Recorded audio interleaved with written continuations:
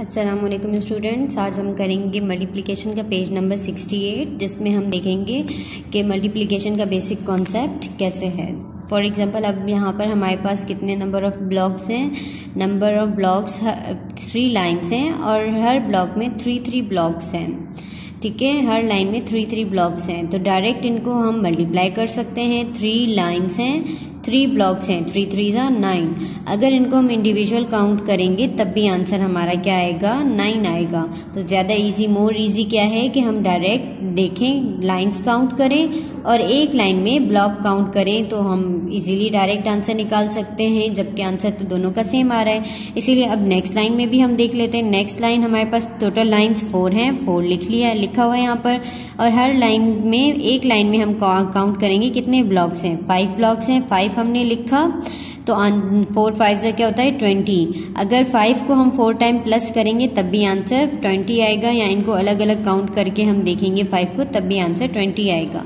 अब देख लीजिए, यहाँ पर हमारे पास फाइव लाइन्स हैं, और हर लाइन में टू टू ब्लॉक्स हैं. तो फाइव टू ज़ा टेन अगर इन टू टू को मैं फाइव टाइम प्लस करूँगी, तब भी आंसर टेन ही आएगा. नेक्स्ट देख लीजिए, हमारे पास थ्री लाइन्स हैं.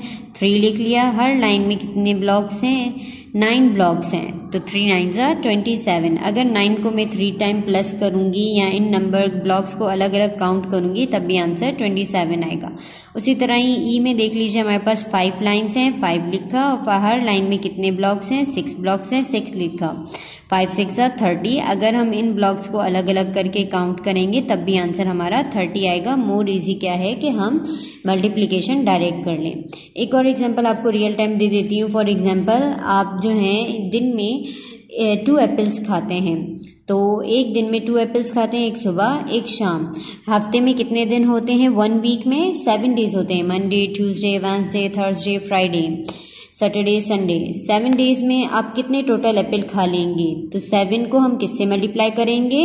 डेली कितने एप्पल खाते हैं? टू तो सेवन टू ज़ा फोर्टीन अगर मैं यहाँ पर सेवन एप्पल बनाऊँ सेवन डेज़ बनाऊँ पहले मंडे फिर ट्यूसडे फिर वेनसडे ऐसे करके सेवन डेज़ बनाऊँ, हर दिन डे में टू टू एप्पल बनाऊँ, फिर उनको काउंट करूँ, कितना टाइम लगेगा? बस डायरेक्ट हम ये देखेंगे, दिन में, एक दिन में कितने खाते हैं? टू हमने टू लिखा, और सेवन डेज़ में कितने खाएँगे? टू को सेवन से मल्टीप्लाई करेंगे। फोर्टीन आंसर आ जाएगा तो कितना ईजी होता है ये।